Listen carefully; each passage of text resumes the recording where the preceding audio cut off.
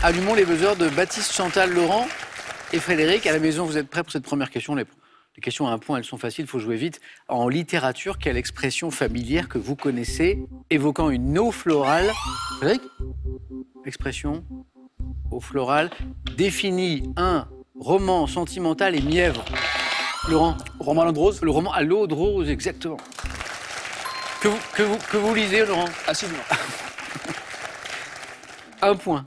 Quel terme essentiellement employé au pluriel désigne le pantalon ample qui était euh, en usage chez les Gaulois Vous vous souvenez, Baptiste Les Brais, Bonne réponse. Lecteur assidu d'Astérix ou, ou pas du tout carrément. Les Brais et les peuples germaniques également, Gaulois et germaniques, Brais, Baptiste, compteur débloqué, ça c'est fait. Et pour trois points, dites-moi quelle pâtisserie à base de semoule de blé et de dattes a une spécialité de la ville tunisienne. Chantal? La.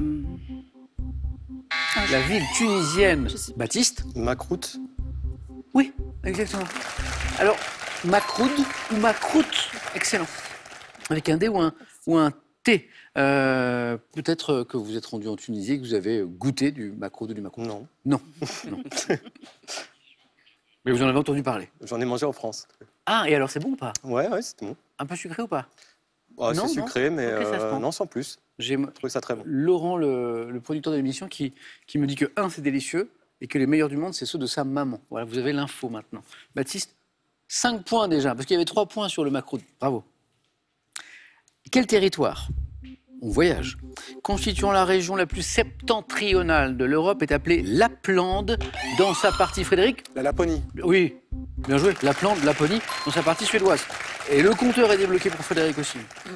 On cherche un adjectif tiré du latin tardif signifiant contemporain qui qualifie des mouvements qui se produisent en même temps.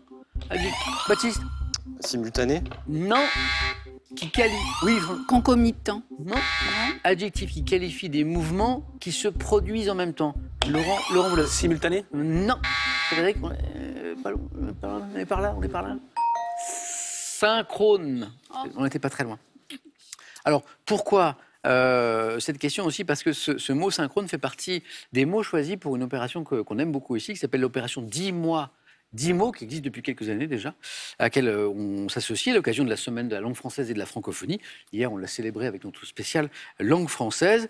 Et donc, ce dispositif 10 mois, 10 mots, il y a ça synchrone euh, dedans cette année, est mis en place jusqu'en juin 2023. Voilà, le thème cette année, c'est 10 mois, euh, 10 mots à tous les temps. Sport 2022. Quel joueur de rugby évolue en poste de pilier Laurent Antonio? Non. Champion d'Europe avec Toulouse en 2021, a réalisé le grand chelem avec l'équipe de France. On cherche Baptiste. Ntamak, Non. On cherche un international français. Frédéric, vous l'avez? Harry Nordoki Buzzez, buzzez, buzzez. Voilà. Harry Nordoki Non. Chantal, non, non. Aucune idée, non. Rugbyman français. Pas euh, franchement, non. Cyril Bay Cyril Bay. Théâtre. On parlait de théâtre avec Chantal au début de l'émission. Euh, quel adjectif qualifie. Oh zut, vous avez buzzé. Ah. Adjectif. euh, Oh non, j'en ai aucune idée. non. Nos buzzers sont un peu sensibles. Qualifie. quali- Adjectif. Qualifie le mot ombre pour désigner la projection sur un écran de silhouette découpée. Chinoise. Ombre chinoise, exactement. Euh, Ou, la- ou adjectif chinois. Laurent, un point de plus. Et pour deux points, quel terme issu du latin par l'intermédiaire de l'ancien français désigne le mâle reproducteur de l'espèce porcine? Baptiste? Alpha, Non, non, Chantal. Vera. Le Vera, exactement.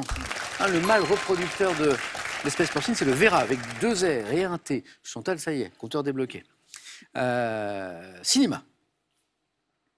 Dans quel film d'animation autobiographique sorti en 2008, un réalisateur italien enquête-t-il sur son passé de soldat durant la guerre du Laurent La valse de Bachir? Non, durant la guerre du Liban. Film d'animation autobiographique sorti en 2008, réalisateur israélien qui enquête, Laurent ne dit rien. Laurent a retrouvé Valse avec Bachir et la valse de Bachir, Ah, on y est, mais c'est un titre d'œuvre, je ne peux pas l'accepter, même si j'ai très très très très envie, d'autant que c'était pour trois points. C'est pas grave, Laurent, c'est pour la prochaine. On va écouter ceci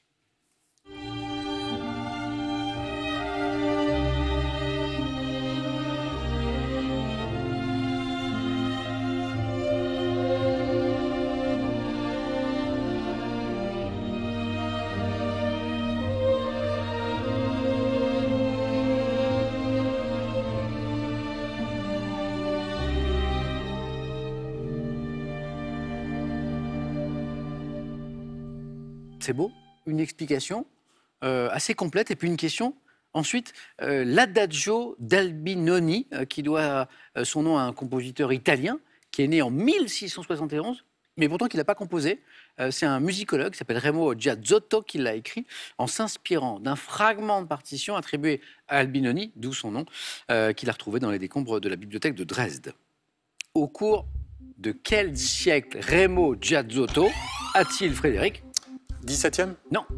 Publié cette œuvre baptiste 14e, Non. Sous le titre d'Adagio Chantal 16e Non. En sol mineur pour cordes et orgue. Laurent, proposez-moi un siècle. 19e Vous étiez le plus proche. 18e. C'était le 20e en fait. 20e. En fait, euh, ça sonne pas très musique du 20e Non. siècle, mais pourtant, en fait, cet Adagio d'Albinoni euh, est euh, composé en 1958